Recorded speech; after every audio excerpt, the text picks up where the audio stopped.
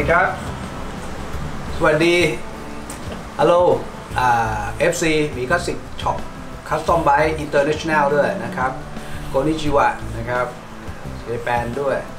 ในคลิปนี้ผมก็จะมา present เกี่ยวกับรถมอเตอร์ไซค์งานสร้างในรูปแบบสไตล์วินเทจย้อนยุคนะครับ ย้อนยุคไอเดียแล้วก็โปรเจกต์นี้เป็นความรักยึดโยงความผูกพันของผมเองนะครับ ซึ่งมีในอดีตแล้วก็ยังหลงใหลคลั่งไคล้อยู่ ก็คือรถสไตล์วินเทจยุคสงครามโลกครั้งที่หนึ่งนะครับก็จะเป็นหน้า springer หน้าสแลกหน้าแหนบนะครับหลังแข็งคลัตช์เท้าเกียร์มืออะไรอย่างเงี้ยประมาณนี้ผมว่าท่านั่งแล้วก็การขับขี่ค่อนข้างจะสง่านะครับของผมนี่เป็นรถเป็นรถสร้างเป็นงาน custom งานดัดแปลงนะครับผมเบี้ยน้อยหอยน้อยนะครับ แต่ว่ามีจิตใจที่ยึดโยง แล้วก็ต้องการตอบสนองการขับขี่ โดยใช้งานได้จริง ๆ ในยุคและสมัยปัจจุบัน โอเคนะครับ เดี๋ยวผมจะลง detail ต่างๆ ว่ารถคาวาคันนี้ผมได้ทำอะไรไปมั่งหนึ่งผมนำเข้าสปริงเกอร์เป็นสปริงเกอร์แบบ i b e a m ซอล่องนะครับเป็นงานของแท้แฮนด์เป็นแฮนด์ Hollywood bar ได้ไอเดียมาจากฮาร์เลย์เดวิสันโบราณนะฮะผมชอบรูปแบบทรงเขาก็เลยเอามาทำใส่ โดยการเย็บหนังเสริมเข้าไปในบาร์ของแฮนด์นะครับ แล้วก็เกียร์มือจะอยู่ฝั่งด้านขวา คือตัวผมเองก็ชอบทั้งอินเดียนทั้งฮาร์เลย์เดวิสันนะครับ แต่ว่าด้วยการที่ว่าคลัตช์เนี่ย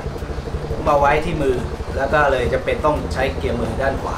นะครับ ตรงนี้ก็จะไปตรงกับพวกรถเยอรมันแล้วรถอังกฤษหลายหลายหลายรูปแบบแม้แต่อินเดียนด้วย เพราะว่าต้องการจะดูการใช้งานจริง ๆ ของตัวเองเป็นหลัก ต่อมาก็จะเป็นล้อและยางเป็นรางน้ำนะครับ เป็นรางน้ำขอบ 19 นะครับ สไตล์รถอังกฤษ ผมก็เอาเข้ามาใส่นะครับผมว่ามันสวยดี มันคลาสสิกดีนะครับ เป็นรางน้ำอาร์กอนแท้นะฮะ แล้วก็ยิง frame เป็นหลังแข็งนะครับ เพื่อให้ได้กลิ่นอาย แล้วก็เบาะเป็นเบาะของรถอังกฤษเบาะสปริงหนังแท้ เบาะนี่ก็เป็นเบาะแท้นำเข้านะครับ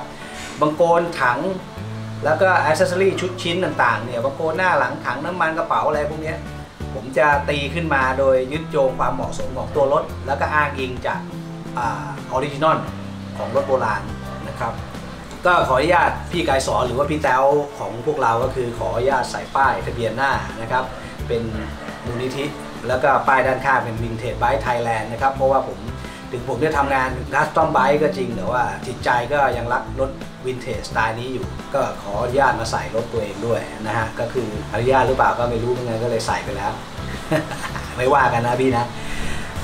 แล้วก็การให้โทนสีการแลบเส้นแลบลายอย่างนี้ก็จะเป็นสไตล์รถโบราณนั่นแหละทั้งยุโรปทั้งอังกฤษก็จะเป็นสไตล์แนวๆนี้อยู่นะฮะในยุคสงครามโลกครั้งที่หนึ่งบวกลบนิดหน่อยนะครับ เครื่อง หรือ Engine ตัวนี้ผมใช้คาวา W650 นะครับคาวา W650 แล้วก็ต้องเอ่ยชื่อนิดนึงก็คือพี่มอ พี่มอลิฟหรือมอแรม ท่านก็ได้ช่วยแกะ แกะสลักเครื่องถมดำอย่างที่เห็นในในตัวรถนะฮะ ให้เกิดความคลาสสิก แล้วก็มีความ art arty art deco ลงลงลงไปในรถด้วยนะครับผม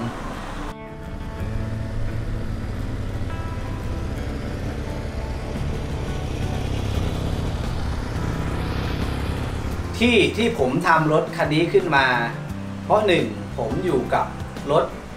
รถโบราณนะฮะรถคลาสสิกรถโบราณเนี่ยมาตั้งแต่วัยรุ่นแล้ว เพราะฉะนั้นเนี่ยความหายากของตัวรถความหายากของอะไร ความหายากของ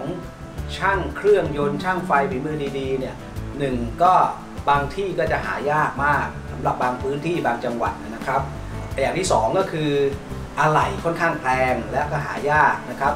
ดัดแปลงก็จบมั่งไม่จบมั่งอะไรต่างๆนานานะฮะ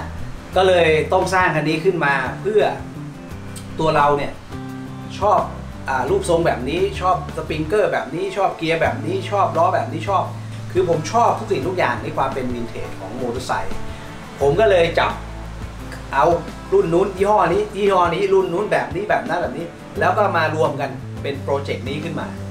โดยไม่ได้ทำตามใจใครตาม ตามใจความคิดความฝันแล้วก็สิ่งที่ตัวเองรัก สิ่งที่ตัวเองชอบ ก็เลยเกิดโปรเจกต์ขึ้นมา